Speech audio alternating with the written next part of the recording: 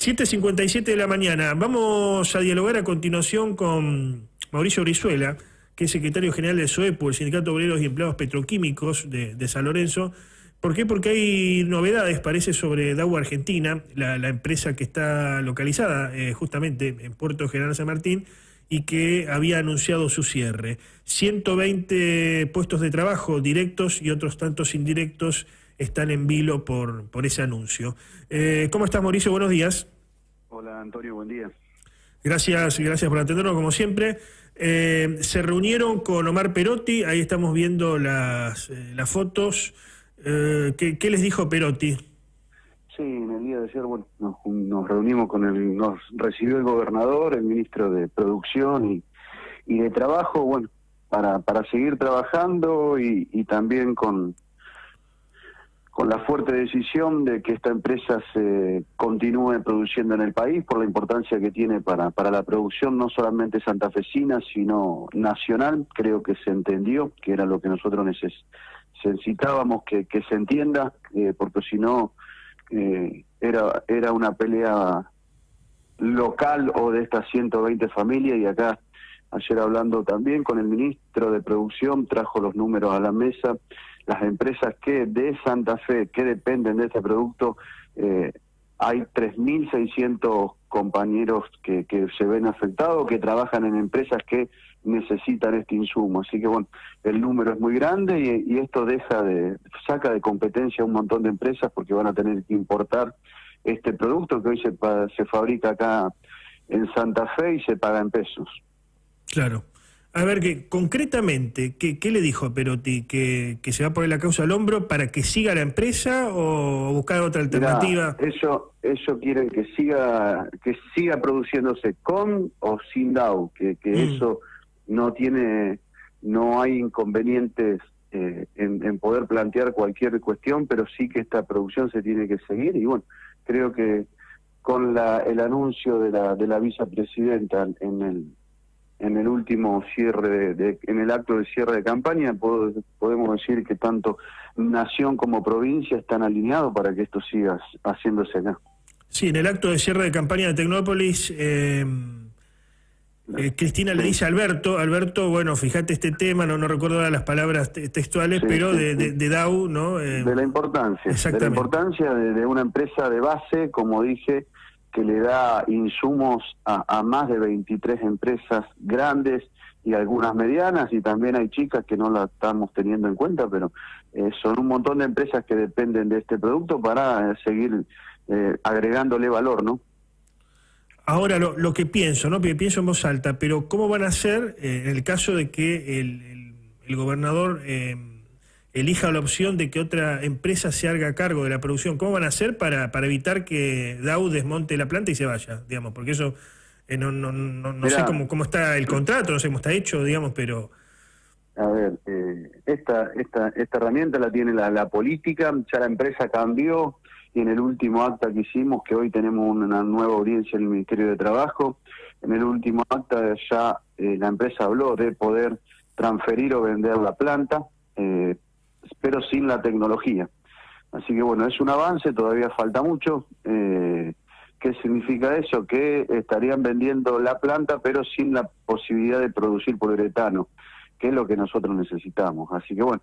Eh, y, de esa tecnología, de esa tecnología se eh, hay otra empresa eh, en condiciones como para, para tomarla. ¿Vos pensás? Sí, no, no hay dudas, no, no, no es que ellos hablan la fórmula, no, no, pero eso te lleva un montón de tiempo, Antonio. Es, es son años de trabajo de del sistema de control, del sistema de seguridad, que bueno, de todo lo que antes hacía manual se fue llevando en la nueva época de la era de la tecnología, es hoy es todo automatizado y eso te llevaría un montón de tiempo ponerlo a punto, reinstalar eh, y un tiempo que se pierde todos los clientes porque eso es importante hoy y es eh, y hay muchos interesados en poder comprarlo porque es un negocio que, que cierra, ¿no?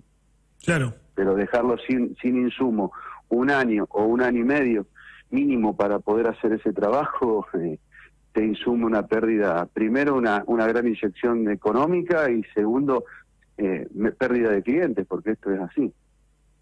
Bueno, esperemos en, este aspecto que eh, Perotti vaya a fondo con este tema, no, no, no es por ser agorero, pero había otros casos, por ejemplo, el caso Vicentín, que parecía que la provincia iba por el todo para incluso estatizar Vicentín o que la controle el Estado y después parece como ni, ¿no? Quedó ahí en el, quedó ahí en el medio. Esperemos que, vaya a fondo con ese tema.